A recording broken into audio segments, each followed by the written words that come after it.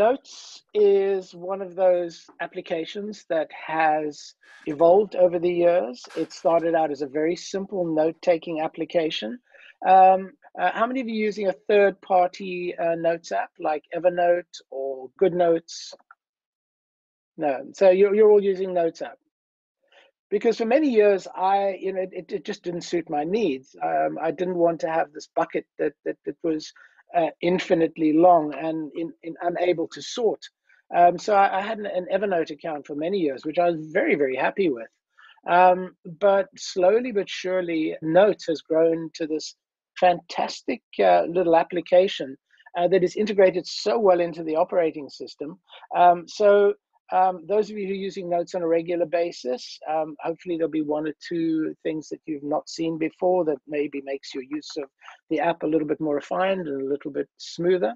And um, those of you who don't use it, well, maybe there'll be a couple of things that uh, might prompt you to, to want to put your information in there as opposed to reminders or as opposed to stickies.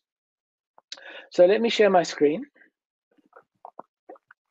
This is our notes application. We're going to be looking at notes initially on the Mac. Then I'm going to go over to the iPad so that you can see how we use the pen tool and some extra functionality that's built into the Notes app. Um, it's one of these typical three-paned interfaces. On the left-hand side, we have um, all our sources. At the moment, you can see the only notes that I store are stored in iCloud. I store nothing, nothing locally on my, my iPad because I want the notes that I type in to be available on all my devices. Hence, I store my notes in iCloud. But I'll show you how we can store it locally if that's not an issue for you, and I'll show you how to store it on other cloud services as well. Um, we'll look at formatting our documents. Um, we'll look at um, then um, sorting and finding information very quickly. Then we'll move over to the iPad and we'll look at handwriting recognition, the pen, scanning information into the iPad, collaboration tools, and then how to get information in and out of, of uh, uh, our notes very, very easily. Maybe using links between notes and reminders to actually trigger events for us. Um, those of you who attended our sharing session, there'll be a little bit of duplication, but it's very difficult not to do that. So on the left-hand side, I have all iCloud notes. You can see 627 there are 400 notes, and these are really just notes that haven't been put into folders. And then I've created these folders, an inbox, an archive folder, cards, Digicape notes, which has subfolders. There's two subfolders, there, well, at least one subfolder, the school subfolder over here. And then all other notes over here. Now, if, if you added up all numbers, you would come up to the 627 number that you get all in iCloud. Now, what if I wanted to store my, my, my information locally as well? Well, if I go to my notes preferences, this is where I set the default values for when I create a new note and where my notes are stored. And over here, I've got enable the on my iMac account. Now watch down on, should be down at the bottom. If I click enable on my Mac, you see over here, it's just added a new destination. So any notes that I create in this notes folder will only be stored on my Mac, will never synchronize across to my iPad or my Mac unless I airdrop it, but it will never synchronize automatically. In addition, if I've got a third party cloud service, let's say, for example, I have Google or I have um, an Exchange account, if I go to my internet accounts, and let me take my Exchange account for, for the moment, as you can see, my Exchange account, this is my internet account in Exchange. I have my mail service active, my contacts, my calendars, my reminders, but I don't have my notes active. So if I wanted to store this and access it in my 365 as well as iCloud, if I click on notes over here to activate it, there you go. You'll see Alan at Digicape notes. So these are my Excel notes. And now when I create new notes and new, or new folders, I can choose where I want to store them. My preference is to store them on um, uh, iCloud, but just to show you how this works with Exchange, for example, if I have notes selected under my Exchange account and create a new note, um, let's just type, um, this is my first note that will sync with Exchange. I hit return. Um, just some text there. Let's see how long it takes to sync. If I go to my Outlook, there's my Outlook calendar. If I click on notes, it's already there. So I can now carry on editing this, line three, and so on. And I'm not quite sure if it's going to sync back as quickly as it's synced going forward. Let's just hide this. And it's not in there yet, but when we come back to it, it seems to be a lot quicker syncing out of notes into Exchange than back, but that might be something to do with our Exchange server. So this is how we access our services and set up the defaults where we store our information. So let's go ahead and create a new note, and I'm going to make it in, in iCloud. And I want to, to talk about text entry because you can see this document is reasonably well formatted. It's, it's, this, this is the script that I'm working off for today. And while it's not a word processor where I can spend a lot of time adjusting my fonts, although I want, I, I could if I wanted to, um, there's some really nice tools that help me work on my notes. So let's have a look at our interface over here. Firstly, you can see all iCloud notes. These are my notes. This is um, uh, a document that I was sharing with my colleagues for a parent portal that we're building for our, our schools. More notes, more notes, more notes. Um, photographs inside my notes. Um, theories, stuff that's come down from the internet. So let's create a new note and I now have a blank note inside all iCloud. So if I look at my formatting, by default, there's a few formats. I've got title, heading, subheading, body, monospaced, and lists. So if I choose title, um, this, this is the title of my note. And hit return. And you can see over here that it automatically gets the name of the title from the first few words of my sentence. So if I'd copied and pasted stuff from the internet, whatever was in the first line of my text would be the title of my note. So now if I want to subtitle, I'm going to say, just choose a subheading. Um, here are some points. Now, I'm a keyboard guy. I don't like to have to go to the menu, back down, to the menu, back down on keyboards. So while I can um, add bulleted lists, dash lists, and numbered lists, um, I prefer to do it automatically. And the way we can create lists automatically is if you, there's three things we can do. If we start a list with a dash, a hyphen, and a space, it automatically creates a note. So I can say point one, and I hit return, point two, point, point three. Hit return, I've gone four. If I hit return again, it takes me back to normal text entry. And, and now I can carry on in a regular note. So that's my first automatic bullet points. The second one is the asterisk. If I type shifted eight and hit space, I get a bullet point. So this is bullet one, Return bullet two, bullet three, bullet three, bullet. I am a Russian today. And the final one is a number with a full stop. So if I type one full stop, first point, and then hit return, it automatically numbers. Second point. So a lot of the stuff is taken care of us uh, for us automatically it's um, a nice way of creating uh, our, our, documents. So what else can we put inside a note? Well, if I've got a web browser open, let's just go to Safari. Oh, and I see this is synced up in the background, which is fine. I can quit Outlook. I've proved my point over there. So where are we in Safari? Last page I went to is events.apple.com. So if I want to take this text and move it into my note, I can just copy it, switch to my note, hit paste, and it takes the formatting of the of the styles of my note. I can also drag and drop. Uh, if I click and hold, you'll see that text becomes editable text. That's just a technique. If you, if you click and drag, you'll select. If you click and hold for a few seconds, you'll be able to move text around. So I can bring information in that way. I can bring pictures in by copying and pasting, by dragging and dropping. So if I go to, uh, let's go to Digicape, always a good spot for images. I can take this image, drag and drop it into my, my, my document and so on. Now, I can build up my notes um, nicely using the tools at my disposal, but there are other ways of getting information into the, into the note, and we'll come back to that in a second. Um, the monospaced one is a useful one for creating lists um, because traditionally when computers were first developed, each character on the screen took up the same amount of space. So you had what was called an 80 column character set. So the letter I took up the same amount of space as the letter M, for example. But now if you look on your computer over here, you'll see the letter I takes much less space than the letter N, and it's much easier to read and it's much friendlier, but it makes it difficult to line things up. So if I use monospaced text, I go back to that style of having a text that's equally spaced. So I can say this is column one and hit a few, few returns.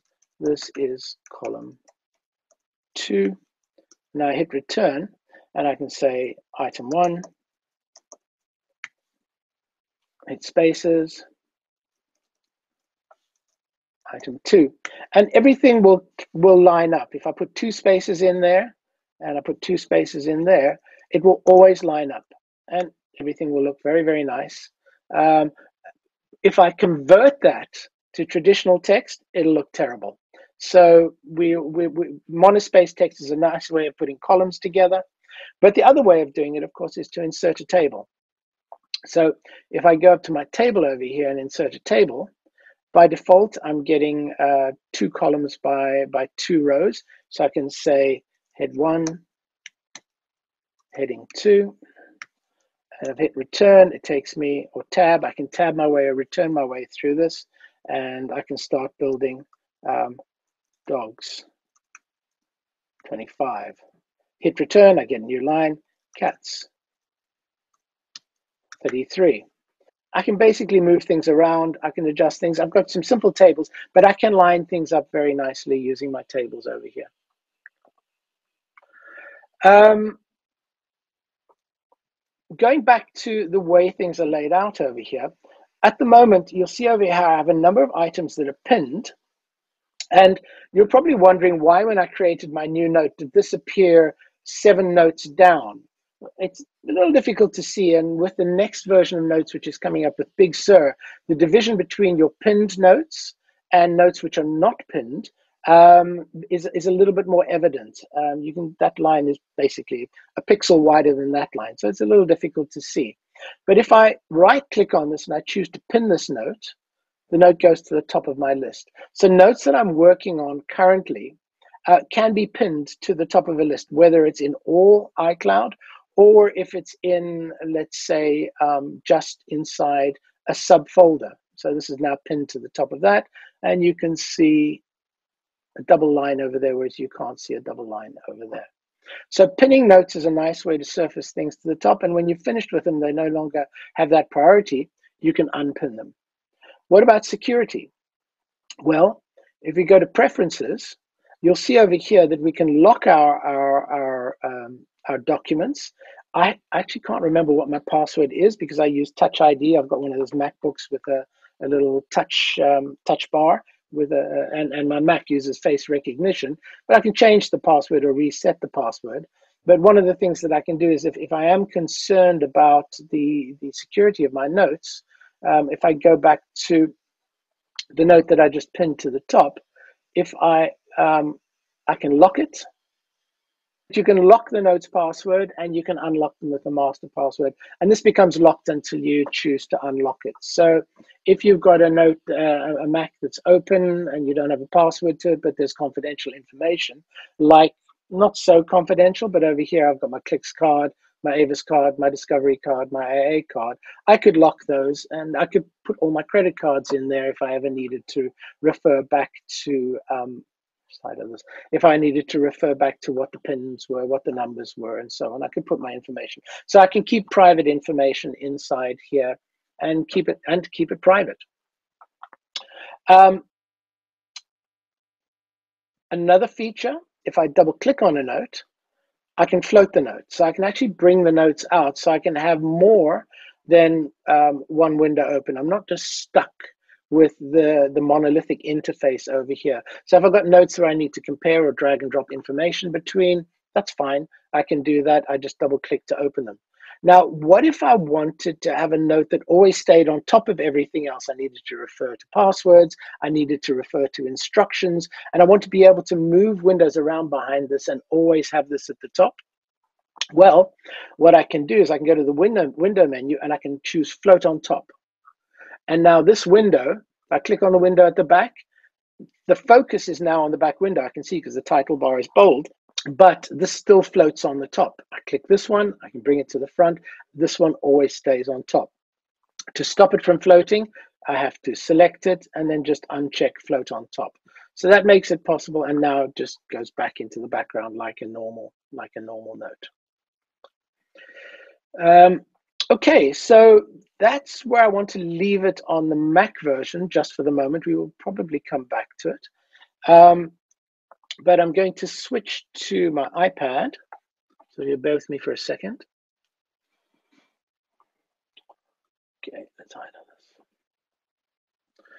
Okay, and here we've got um, my iCloud. And as you can see, the document that I pinned previously, the document I was working on a couple of seconds ago, is on my iPad. So this is really lovely. And if you can see on the left-hand side, as I'm tabbing between my, my, uh, my applications, if I was working on my iPad, the icon on the left tells me, let me take you straight to the iPad, the note that you're working on on your iPad on your Mac.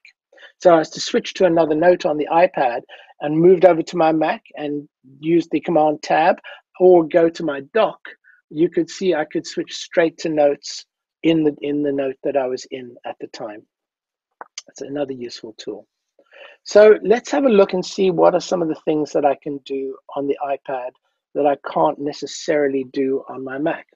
So the first thing is my settings. You know, the, the, you've got the pen, you've got the draw tools with most modern modern Macs. So I'm going to use Angelo's little trick. Um, I'm going to go to my settings by using Siri. Settings. And this takes me to my settings and takes me straight to my notes settings.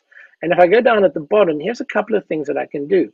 If I'm creating a new drawing, I can have some predefined grids or um, or line spaces. So if I, I, want to write quite tightly and I don't feel like writing on a, um, if I want to write text as opposed to draw, and I wanted to have some lines and I want to freeform on a blank screen, this is what I'll get. Um, the other thing which I didn't show you on um, on the Mac is we can also create to-do items, and we'll come back to that at the moment. But you can sort your to-do items, which is a checkbox, either manually by dragging them up and down a list, or automatically, where when you check them as done, they go to the bottom of the list, and all your undone items appear at the top. So these are some of the things that I can do. And the other thing that we'll come back to uh, at the moment is access notes from your lock screen. So if you want to make a quick note on your iPad and you don't want to unlock your screen and go through the schlep of unlocking, going to notes, making a new note, you can do it directly from the lock screen just by tapping on the screen. So let's go back to notes and see what that looks like. So the first thing I can do is, is, is, is if I want to draw, I just take my pen out. Um, I, I can um, tap on markup and I can start drawing. So here's my pen tool. I can choose the line thickness. I can choose the color that I want. And if I tap, let's just move this guy off to the side. If I tap, there we go. Uh, so if I tap and draw, I can start drawing. I can start writing.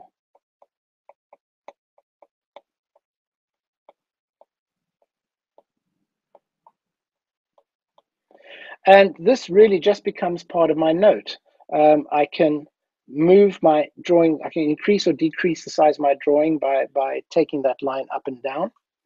Um, now, one thing about the text over here, the iPad under iOS 13 and on Catalina recognizes text, but only for searching. It doesn't convert it to text. It doesn't convert your handwriting text, your handwriting to text. Um, this will change in iOS 14, iPad OS 14, and on Big Sur. So if I was to create a new note and I start um, just writing over here, um, you can see I now have my lines over here that I can start writing writing with. So let's say this is a new note with my terrible scratchy handwriting. Um, and yeah, you can see down in the bottom over here, it didn't do a particularly good job because my writing was appalling. So let's just delete that and see if I can do a slightly better job with my writing. Okay. Um, um, uh, new note was made today. Yeah, it's it's not doing a great job, and that's me. It's not it's not this. Um, usually, it does a better job, but um, your mileage may vary. So, what else can I do over here? Well, if I wanted to scan information in here, um, I could tap down over here, and if I tap on the camera over here, you see I have three options. I can either go to my photo library and then import a, a picture in from my photo library, or I could take a photo or a video and insert it in there. So let's take a quick video. Here's my, my setup and we'll start filming. Oh, that was a photo, sorry. Let's go take photo video. Let's move to video. And I'll scan across the screen. Let's see if we get a little infinity mirror going. Yep, there we go. Excuse the mess. It's not usually as messy as this, but to prep with all the wires, we need to do that use video. And now there's a photo and there's a video inside my notes. And I'll scan across the screen. Let's see if we get an audio. infinity mirror going. Yep, there we go. So that's two things I can do, photo or video. But I can also scan. And scanning is a useful tool because if I've got a document that I want to get inside here, I can tap plus, scan the document. I'm hoping that the lighting is good. If I hold this over my document, you can see how that document is highlighted in yellow. I can now take photos of more objects, but if I tap on that, you'll see it's turned it into a document which is really an editable PDF. And I can change it from a color document to a grayscale document to a black and white doc to a photo, which is what the original was. But let's stay with a color document. And I'm happy with that. So I tap done and I'll save it. And now that is added to my document over there. Now, maybe I don't want my, my, my images to be full size. And let's take this one, for example, over here. Actually, I've done this on this one. So let, let's go to here. So I've got some notes that I'm taking over here, and I want people to be able to see it. But while I'm working on it, I don't necessarily want this image to be so big. So if I press and hold on it, I can say, make it a small image. And now all my images are little thumbnails. So the words are now the focus of the, the, the, document. But if we want to now have a look at these images, which are marked up, I just change them into large images. So this is also a, a nice way of working through our documents on the, on the iPad. The last thing that I wanted to show you, chaps, um, is our share sheets. Because um, I think when sharing was introduced from the Mac, from the iPad back to the Mac, a lot of it's fairly misunderstood and a lot of it is underutilized. So um, let's see how we can get information into our notes. Um, I'm going to make a new note over here, and I'm going to call this uh, things I want to do. And this is just going to be in my, my, my regular notes.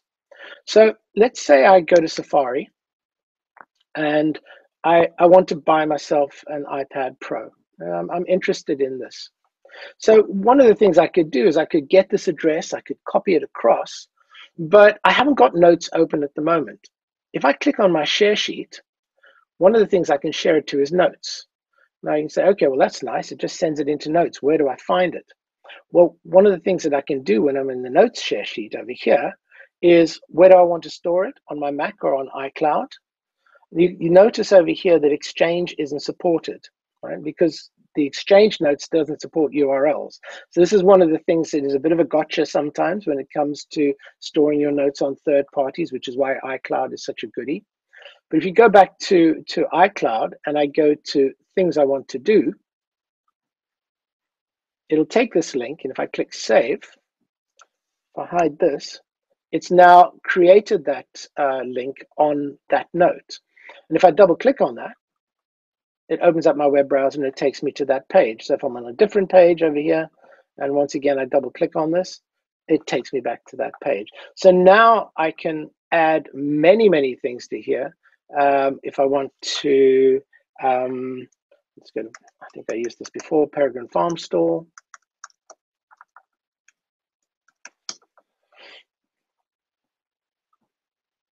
This is a place I want to visit. Okay, let's take this and we'll put this to notes. And you notice it's remembered the last one that I was at. It's fine. So I'm just going to click save. And if you go back to notes, Peregrine is one of the things that I want to do. So let's just check my preferences over here. And I want to make sure that they automatically sort ticked items is on. Yes, it's on. So now if I want to add a checklist of items that I want to buy at Peregrine, I can just click the check checklist now and I can say Springbok pie, coffee, apples, wine after lockdown.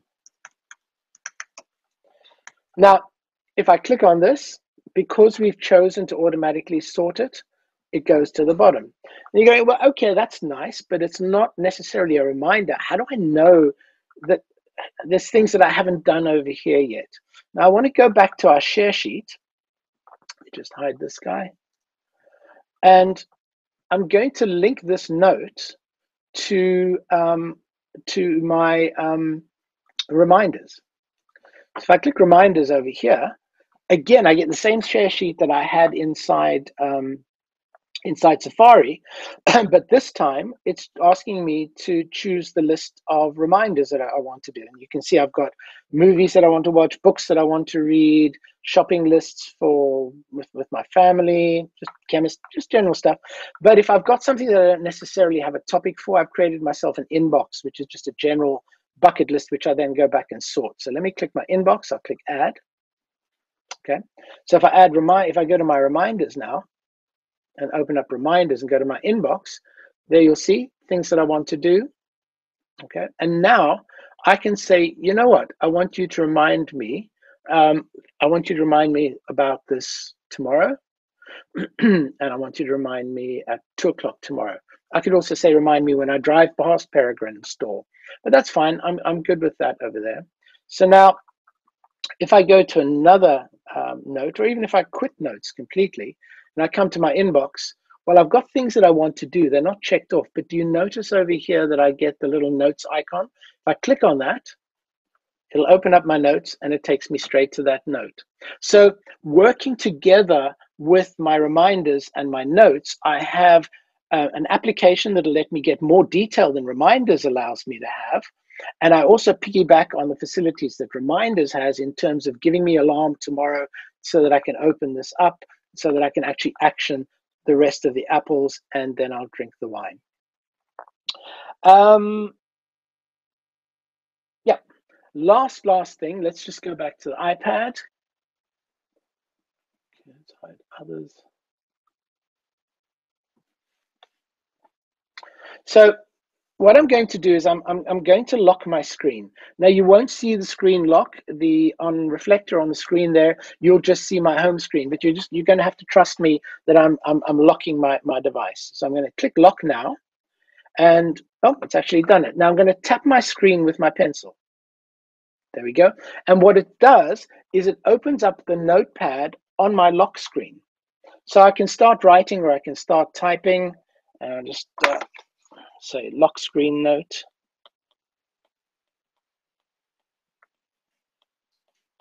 Now you might go, well, I haven't typed in my password. This will give everybody access to my notes. No, just like your lock screen with your camera only shows you the notes that are taken at that point in time. If I go to all notes, there's nothing there. I have to well, use face recognition to open it up. But now you can see the note that I typed in my lock screen has been added to my list and I can now file that into wherever I want to file it. So if I want quick, quick access to take a note either with a pencil or start writing, um, using the, the option to write on the lock screen uh, or to, to create a note on the lock screen is a very, very powerful tool and will save you lots and lots of time. So I've come to the end of my allotted time and I've run through almost everything that I wanted to do. I didn't get to the collaboration, uh, but we did cover that in sharing. So if you want to collaborate on notes with other people and you didn't do the sharing session, you're welcome to go to the YouTube channel and, and have a look at the sharing is caring session. And with that, I'm going to end the screen sharing session and open it up to questions. Alan, I like the idea with the debit credit card system. Is it mm-hmm. the only way to do it via an iPad slash phone, or could you use the MacBook Pro to photograph those, or what is the quickest, easiest way to do it? You could, but I mean, you'd, you'd have to hold the. Um, so if you look, you could take photographs of things and put them into your your uh, into iPhoto and import them. Um, you could use the camera on your phone, uh, on, on your Mac. Uh, one of the tools that you do have, um, let me just share my screen one more time. If I wanted to insert a, a photo over here, um, if you do have an iPhone and an iPad and you don't literally want to open up notes on the iPhone and iPad, if you go to your media center over here, you can open your photo library, but you can also say, well, take a photo or scan a document on your phone. So you could say, okay, scan a document. You could have your cat, your your um, uh, now basically what it's doing, it's opening up the camera on my my phone. So I'll just take a picture of the keyboard for the moment. It thinks it's a document, and I'll say keep the scan. And in a second or so, I'll save that.